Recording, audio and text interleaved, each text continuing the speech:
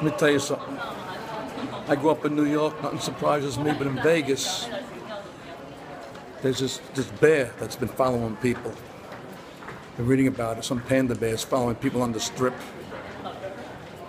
I can't wait. If I catch this bear, I'm gonna, I'm gonna wring him by the neck. A panda bear following people in Vegas. Who ever heard of such a thing? He's about five feet tall. He's got black eyes.